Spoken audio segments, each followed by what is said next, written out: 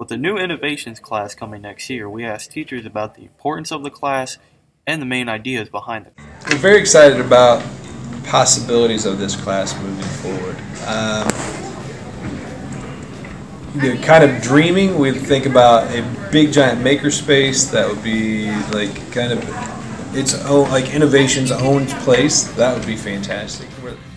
Okay, so the purpose of the innovations class. Well, uh, that's kind of a loaded question. I think um, if, you, if you get back to our slogan, right, our, slogan, and, and we get it exactly right here. Our slogan is uh, that the innovation class inspires the creative confidence to generate, pursue, develop, and implement breakthrough ideas.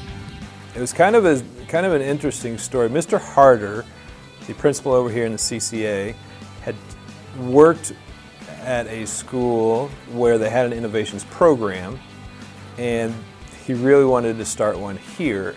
We also talked with a student to find out why they applied for the class.